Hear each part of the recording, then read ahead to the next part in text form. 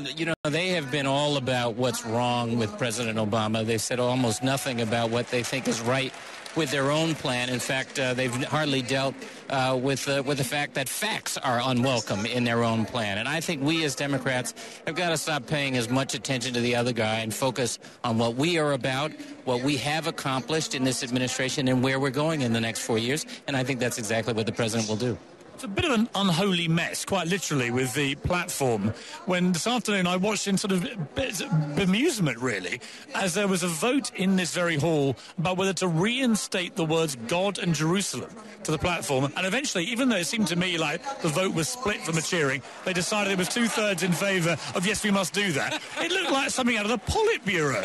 What, what did you make of it? Not much. I mean, you know, there. This is a broad party with a lot of different ideas, and uh, and obviously I, I hope, obviously, a, uh, an unequivocal support for the state of Israel.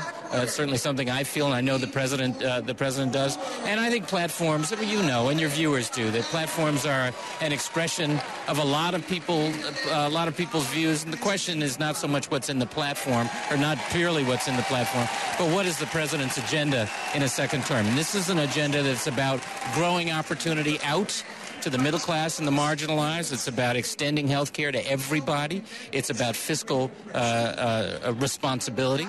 and the plan has made a, the president has made a very uh, serious plan in that regard. And it's about lifting everybody, not just some, but everybody. And I think that's enormously important.